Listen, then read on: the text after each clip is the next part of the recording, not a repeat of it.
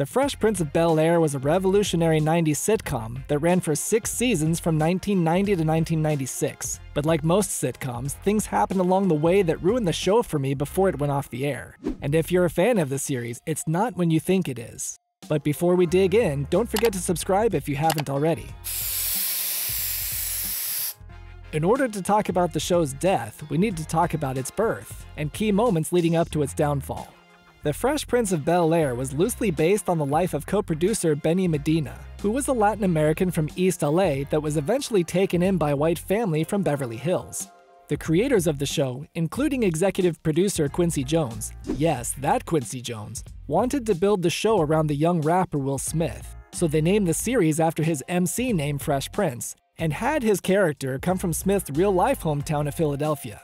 And rather than having Will become adopted by a rich white family like Medina, which was also a common theme on television at the time, they had Will move in with his rich black relatives instead. Aside from being a star vehicle for Will Smith, the show also had two other significant purposes, which were to create a more authentic portrayal of black culture and to infuse the show with hip hop culture that was sweeping the nation during the 90s. And each of these purposes were abundantly clear in the first season. The pilot episode, The Fresh Prince Project, introduced us to the show's catchy hip hop theme song that told Will's backstory in Philadelphia when he was shooting some b ball outside after school when a couple of guys who were up to no good started making trouble in his neighborhood. He got in one little fight and his mom got scared and said, You're moving with your auntie and uncle in Bel Air. And the theme song actually included two extra verses for the first three episodes, before it was truncated in the fourth to become the shorter version fans know it as today.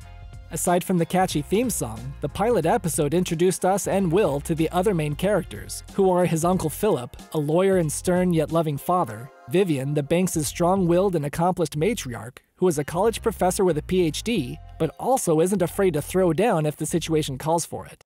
There's also the Banks' three children Hillary, the eldest college age sibling, who is unemployed and equal parts a dimwit and shopaholic.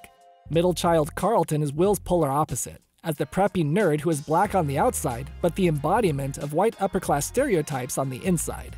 The youngest Banks child, Ashley, is the most down to earth of the three, and is often influenced by Will's rowdy behavior. And then there's the British butler Jeffrey, who is dignified yet harbors a thinly veiled resentment towards the family. The first two episodes of the show kept things simple, with storylines about how Will's wild and crazy attitude disrupts the Banks' family dynamic and sociality amongst their high class peers. And we also see how Will is quote unquote a negative influence on Ashley by teaching her how to rap and trade in her violin for the drums, which is how Will Smith's real life musical collaborator and best friend Jazz enters the show as Ashley's drum teacher. On that note, pun intended, one of the show's longest running gags started in episode 2, when Jazz upsets Phil by scratching his classical music record during the family's tea time, and then Phil throws him out of the house. Most of the time, they reused the same shot from episode 2 to avoid injuring Jazz with repeated takes. So it became an in-joke with fans that whenever Jazz wore that shirt, it signaled he was going to get thrown out again. Another significant element of the show introduced in season 1 was its meta humor, with Will's fourth wall breaking glances to the camera. Many storylines in season 1 focused on social class issues, such as Will trying to adopt upper class etiquette after he meets a girl at his neighborhood country club or when Phil learns to publicly embrace his humble upbringing on a farm after he receives media attention for a prestigious award.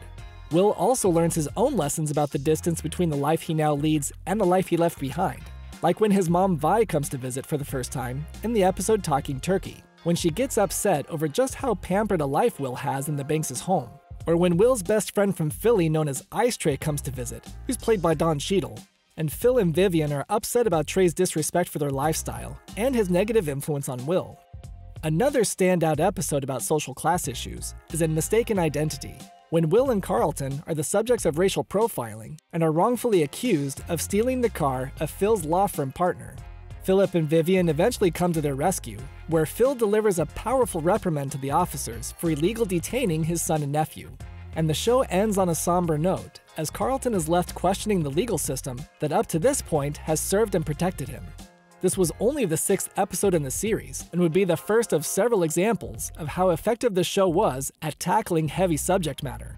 Season 1 also included a ton of cameo appearances, like the original Shaft actor Richard Roundtree, Cosby Show star Malcolm Jamal Warner, supermodel Naomi Campbell, big music artists like Heavy D, Quincy Jones, Queen Latifah, and Tevin Campbell, and pro athletes Bo Jackson, Isiah Thomas, and Evander Holyfield.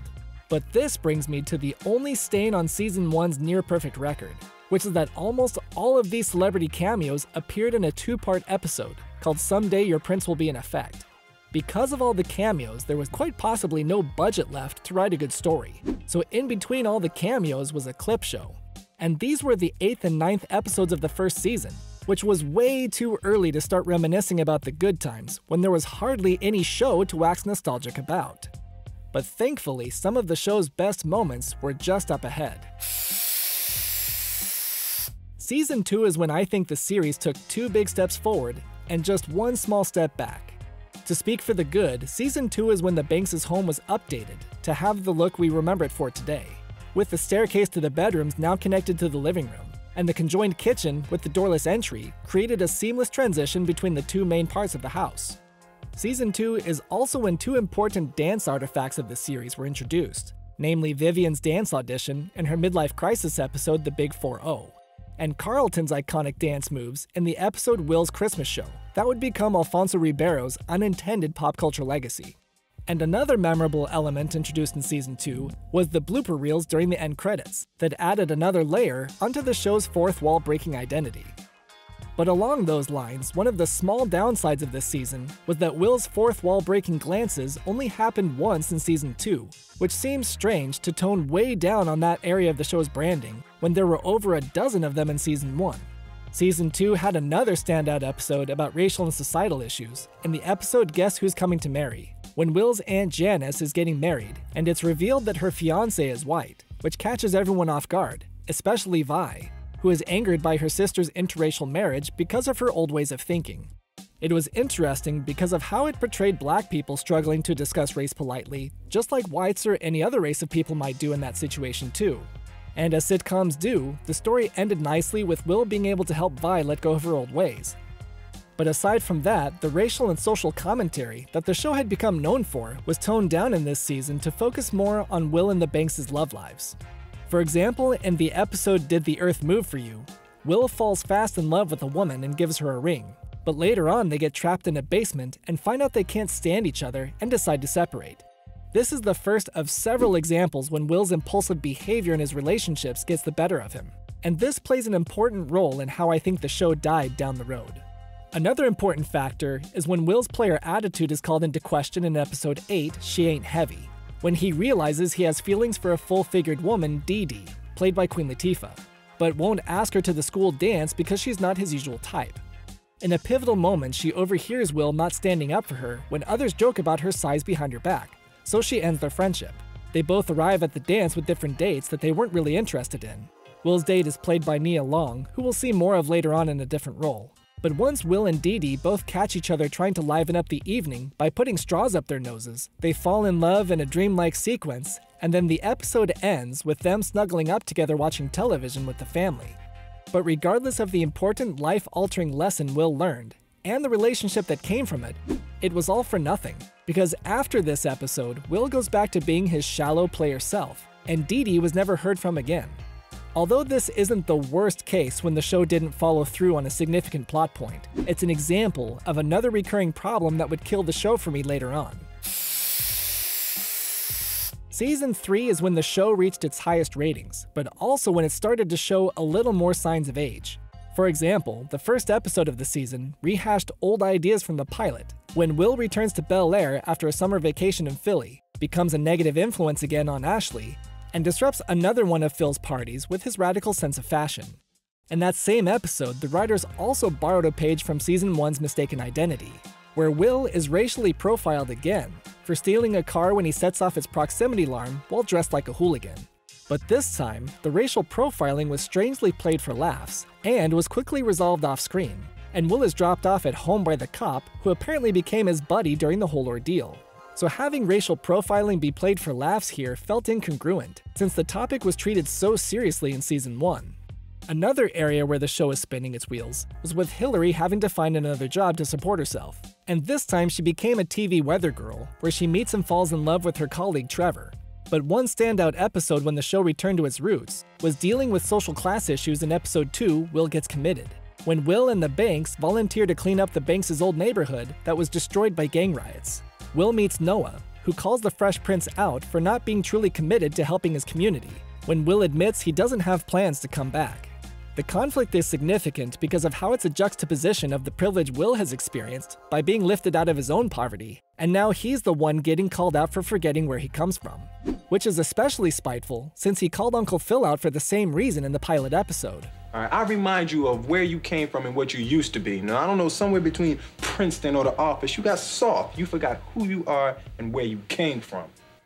In season 3, the show's overarching narrative of Will finding a family with the Banks progressed further in the episode Mommy Nearest, when Vi wants Will to move back to Philly to live with her, but Will reluctantly tells her he wants to stay in Bel Air.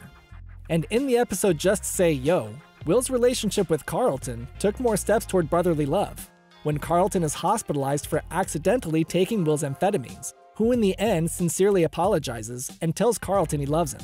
And Carlton reciprocates Will's sincere feelings in the season finale 6 Degrees of Graduation, when Carlton gives the valedictorian speech and implies that Will is his best friend, and Will responds by mouthing the words you the man during the applause.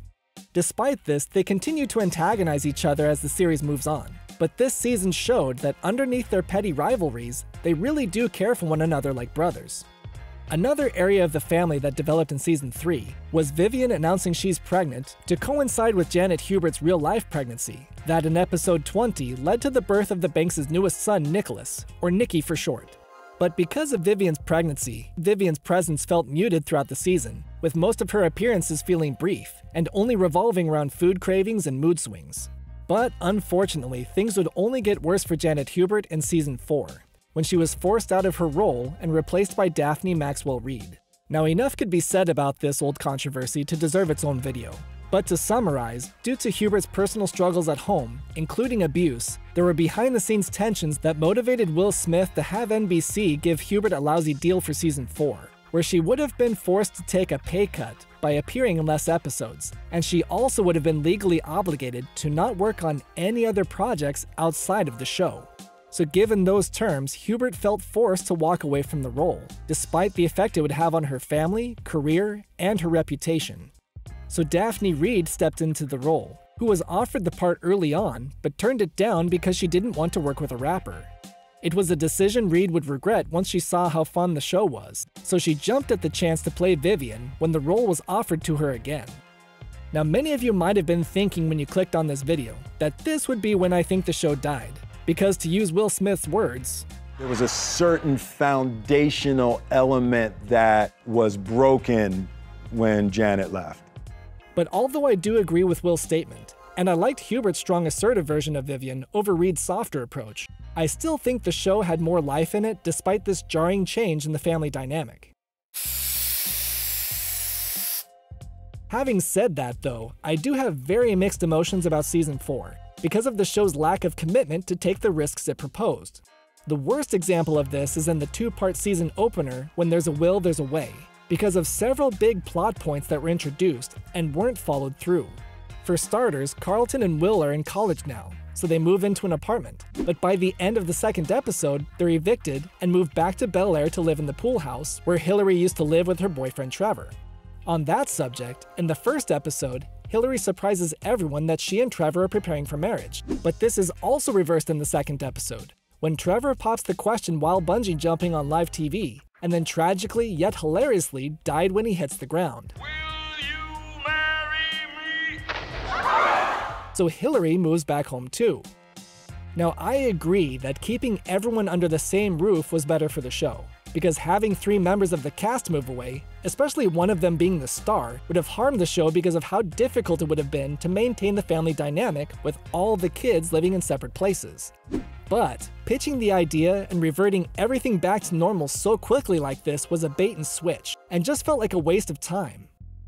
Another missed opportunity introduced in the season 4 opener was with Will reuniting with an old friend, Jackie, played by Tyra Banks, who moved from Philly to attend ULA on a scholarship.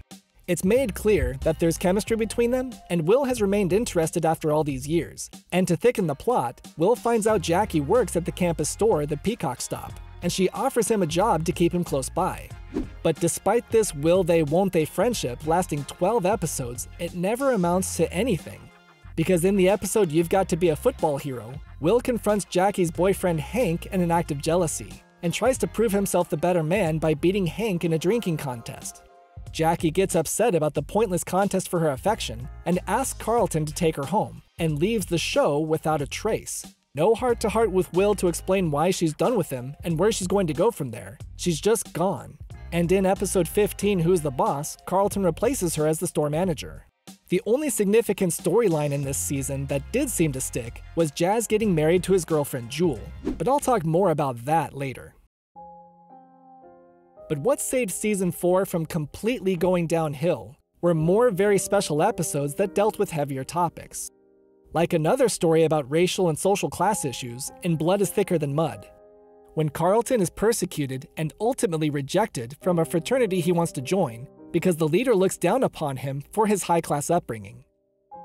Another story that affects Carlton deeply is in the episode Home is Where the Heart Attack Is, where, as the title implies, Phil has a heart attack and Carlton can't bring himself to visit his father in the hospital because he can't cope with the fact that his dad won't be in his life forever. This strikes a heavy chord with Will, who is angered and calls out his cousin for being selfish, because Will mentioned he has no relationship with his father and doesn't even know where he is. Which brings me to the best episode of the entire series that answers that question, and Papa's got a brand new excuse. When Will's father, Lou, who is a self employed truck driver, tries to re enter his son's life after 14 years of being absent. Will is reluctant to accept his father's plea, but he eventually opens up his heart to embrace Lou as his dad and accepts an invitation to join him on the road for the summer so they can spend some quality time together. But when it comes time to leave, Will is crushed to find out Lou has made a change of plans at the last minute and leaves his son behind. And what follows is arguably the most heartbreaking monologue ever performed in a sitcom. How come you don't want me, man?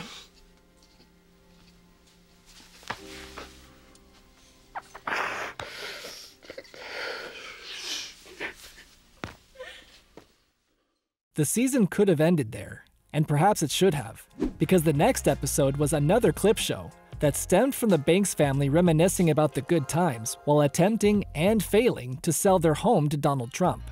And season 4 failed to stick the landing in its final episode, The Philadelphia Story, when Will and the Banks go back to Philly to visit Vi and check out their old neighborhood. The idea for the story was interesting because it was a chance to flesh out Will's backstory. And what made it even better was when Will finds out his reputation has been tarnished since he left. Because everyone thinks he's a chicken for running away from his problems. So Will prepares to confront his old bully, that he jokes was the guy twirling him over his head in the opening credits. And after a rocky training montage, Will finds out the guy has changed his life around, and now gives back to the community. So this convinces Will he's got nothing to run from anymore, and the season ends on a cliffhanger, when Will shocks the family by telling them he's going to stay in Philadelphia. But as we already know from season 4, the creators seem to understand that the show couldn't survive with its main cast split up. So at the beginning of season 5, they did a quick bait and switch again by having NBC executives show up in the cold open to take Will back to Bel Air and then the rest of the episode was about a completely different storyline. Having said that, I'll give them some credit that this Deus Ex Machina moment was at least on brand by breaking the fourth wall with the signature meta humor. But in this case, it just felt lazy and cheap to return everything back to normal so quickly and inexplicably after baiting viewers with such a big cliffhanger between seasons. Like the season 4 opener, this demonstrated again that the creators weren't intending to follow through with this new storyline, and yet again, this all felt like a waste of the viewer's time. And unfortunately, the rest of the season didn't get much better in that regard. Season 5 shook things up by almost entirely focusing on Will's relationship with his newest girlfriend, Lisa, played by Nia Long, who he met in episode 6, Will's Misery. But this was also another storyline that ended up being for nothing. To begin with, Lisa and Will's relationship started off very problematically when she invites Will to her family's cabin for their second date. But that's when she turns psycho on him and ties him up as a prank in order to get into a sorority that has it in for Will's womanizing behavior. But when Will escapes her trap, she tells him the truth about what she's doing and admits it was Carlton's idea, and reveals that she really does like him and wants to continue dating. So then Will is automatically relieved despite the trauma she's caused him, and decides to play along with her prank to help her get initiated. Even for sitcom standards, this is a pretty far-fetched way to establish what would become Will's longest lasting and most serious relationship. As a side note though, the one redeemable quality about this episode was Carlton's reaction to Will getting back at him by implying that he had to kill Lisa to escape, which sends Carlton in a fourth wall breaking frenzy by running amuck throughout the entire studio. Even though Will and Lisa's relationship was poorly conceived, as the season developed, they seemed to fall genuinely in love with each other. And Will even showed signs of growth to become a mature and faithful man, which was a refreshing direction to take his character given his usual player attitude. Will's love for Lisa and his overall direction in life would drastically change in the episode Bullets Over Bel Air, when Will gets shot trying to protect Carlton while being robbed at gunpoint at an ATM. While recovering in the hospital, Will discovers that Carlton has bought a gun, and after a heated discussion, Will is able to get Carlton to hand it over as payback for saving his life. Give me the gun. I saved your life. I want the gun.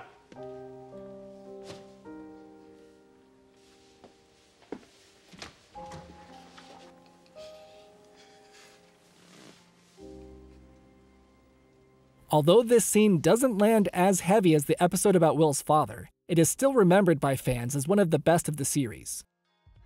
And because of Will's brush with death, he realizes how precious life is, and in the following episode, A Decent Proposal, Will pops the question, but it's quickly revealed that Lisa has doubts, and she eventually admits Will is overreacting from all the trauma he's gone through. But Will reassures Lisa his love is real and isn't going to change. However, if the show has taught us anything, it's that one of Will's weaknesses is rushing into things with his girlfriends before he fully realizes the consequences of his choices. And the show itself has exhibited that same behavior by constantly going down directions it never fully committed to. Up to this point, Will and Lisa's relationship was the longest plot line the creators followed through on, so that's what made its reversal sting even more. In the season 5 finale, For Whom the Wedding Bells Toll, seeds of doubt about Will's marriage are planted by Jazz, who conveniently just divorced Jewel in time for this episode, explaining that he didn't really know his wife. And soon after, Lisa also conveniently reveals to Will that her real name is Beulah. Your name is Lisa, isn't it? Well, it is now. I mean, I just couldn't go through life hearing people say, hey, Beulah. So, with those doubts in mind, right before the wedding, Will and Lisa get apprehensive about their marriage. And at the altar, they come to grips that they should separate, because they're two totally different people. But the wedding isn't a total loss, because following in her son's footsteps, Vi and Lisa's dad, Fred, conveniently fell fast in love in this episode and rushed into their own marriage by taking Will and Lisa's place at the altar. But yet again, this was all just for show, because after this episode, Vi will continue to appear without Fred, and her marriage will never be discussed again. Something the show did commit to was to end the series at the end of season 6, and in that season, it was evident that the end was near, because the show felt like it was mostly just coasting by rehashing old ideas.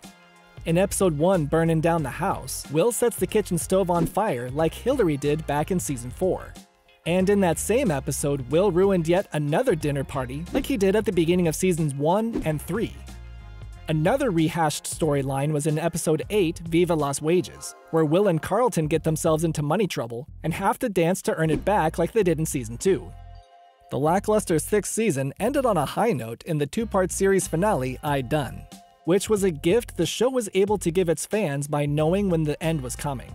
But unfortunately, the end had already come much earlier for me, during the season 5 finale for Whom the Wedding Bells Toll on May 15, 1995.